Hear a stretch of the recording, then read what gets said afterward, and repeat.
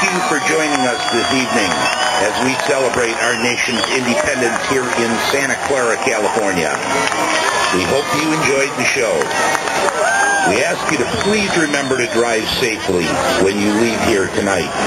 We hope to see you again next year. Happy Independence Day, everyone. Good night.